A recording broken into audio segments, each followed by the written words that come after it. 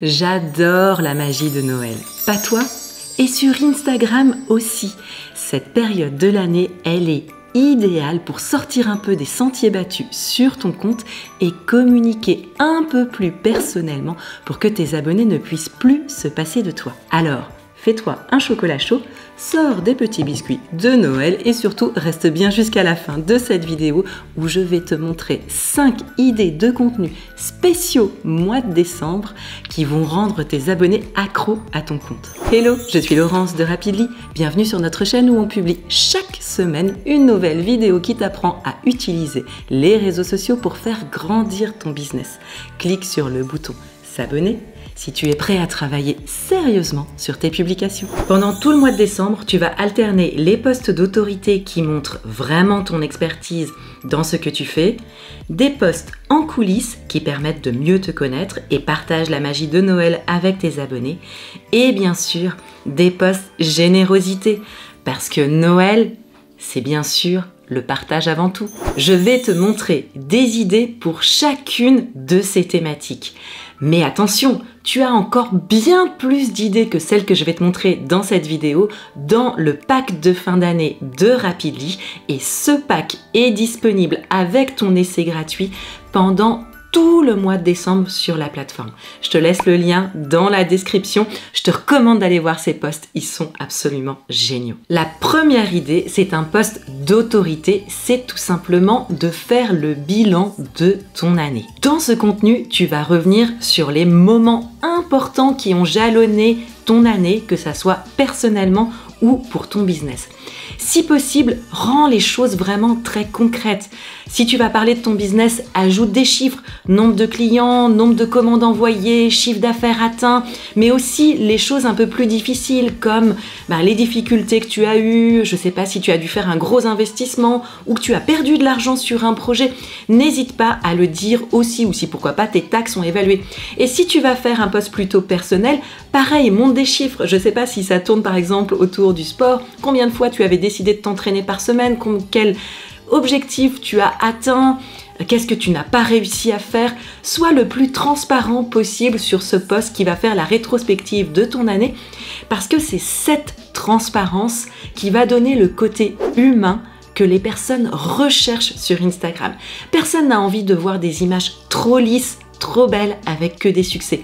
Non, on a envie de voir des choses concrètes parce que c'est ça qui nous inspire. On sait bien que la vie elle pas rose en permanence et donc quand tu parles à la fois de tes succès et tes échecs avec des chiffres précis, les gens comprennent que tu es vrai et ça ça leur donne encore plus envie de te suivre à chaque fois qu'ils vont voir un de tes posts. Ensuite, si tu joues la transparence sur la carte de ton business, ce contenu va te positionner véritablement en tant qu'expert, en tant que pro de ton domaine, parce qu'on verra exactement ce à quoi ressemble ton business. Voici exactement ce que ça donne quand je crée ce poste de Rapidly. Tu vas voir de A à Z la construction du poste, la rédaction du texte dans Rapidly, le design dans Canva et la programmation.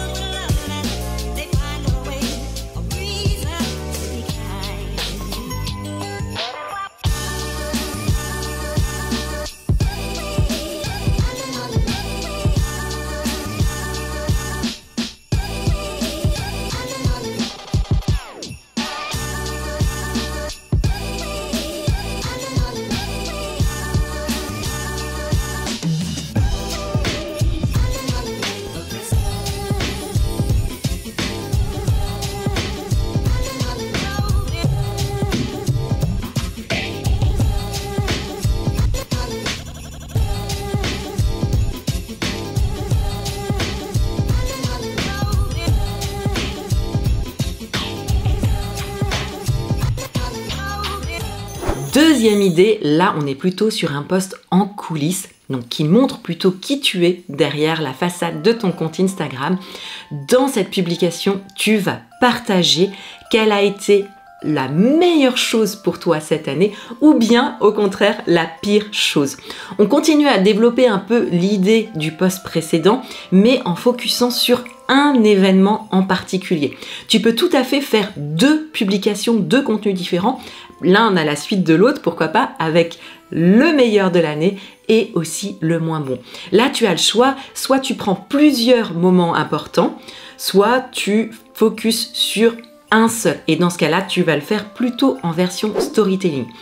Ce type de poste, de nouveau, ça va appuyer sur le côté humain de ta personnalité, ça va montrer un peu plus qui tu es et ça va rapprocher tes abonnés de toi. Ils auront l'impression de mieux te connaître, tu vas commencer à faire partie un peu de leur groupe d'amis et donc à chaque fois qu'ils vont te voir dans leur feed, ils vont se dire tiens, j'ai envie d'avoir des nouvelles de cette personne et ils vont systématiquement aller te lire. Ma recommandation, c'est accompagne ce type de poste plutôt d'une photo de toi parce que finalement, tu vas partager des choses qui sont assez personnelles. Ça peut être une photo de toi dans ton environnement de travail ou bien plus dans ton environnement privé, suivant ce que tu racontes, mais partage une image de toi parce que ça ira parfaitement bien avec le contenu de ce poste. Voici exactement ce que ça donne quand je crée ce contenu dans Rapidly.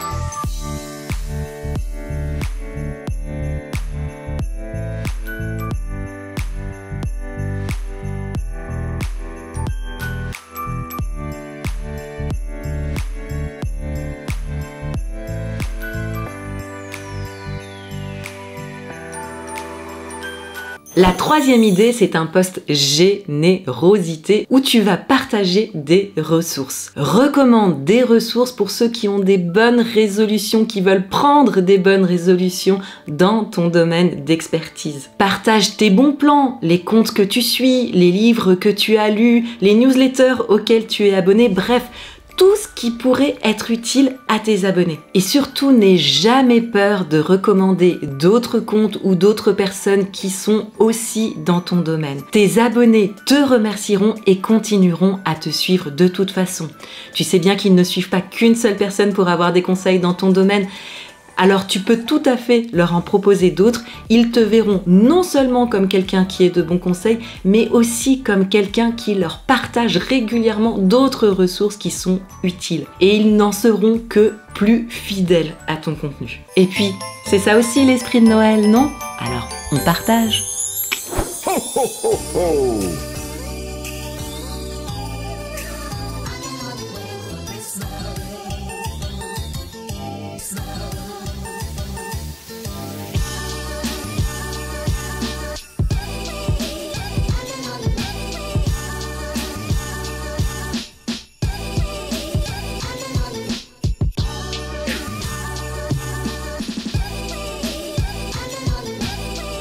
La quatrième idée est un post de nouveau en coulisses où tu vas partager tes bonnes résolutions. Tu partages tes bonnes résolutions pour la nouvelle année à venir, qu'elles soient professionnelles ou personnelles, c'est comme tu veux. De nouveau, avec ce post, tu laisses tes abonnés se rapprocher de toi en les faisant entrer un peu dans ta tête et en leur partageant tes réflexions autour de tes objectifs à venir, ce que tu veux accomplir et la façon dont tu vas le faire.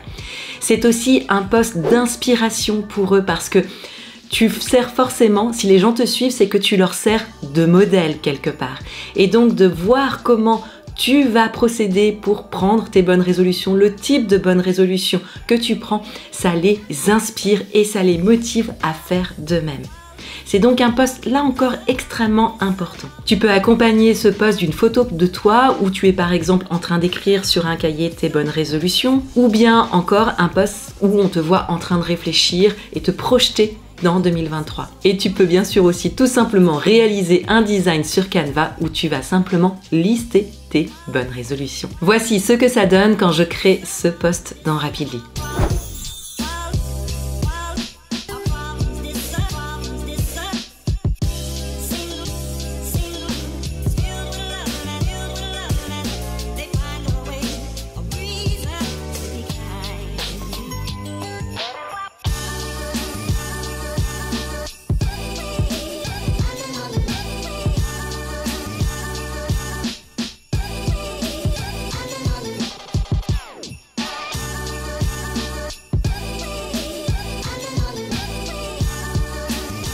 Idée numéro 5, les bonnes résolutions, mais cette fois pour tes abonnés. Tu vas créer une liste de bonnes résolutions à prendre pour tes abonnés dans ton domaine d'expertise. C'est un peu comme un plan à suivre pour 2023. Tu leur donnes la feuille de route pour accomplir ou obtenir ce qu'ils recherchent dans cette nouvelle année. Ce contenu te place de nouveau dans une position d'expert incontournable sur ton sujet. Il a aussi l'énorme avantage d'être pratique, concret et immédiatement actionnable par tes abonnés. Ils vont pouvoir prendre ta feuille de route et l'appliquer étape après étape. C'est un poste qui devrait obtenir systématiquement beaucoup d'enregistrements. Mon conseil, crée ce poste sous forme de carrousel dans un design Canva par exemple ou bien sous forme de reel où tu vas pointer les différentes actions que tu préconises. Voici ce que ça donne quand je crée ce poste avec Rapidly.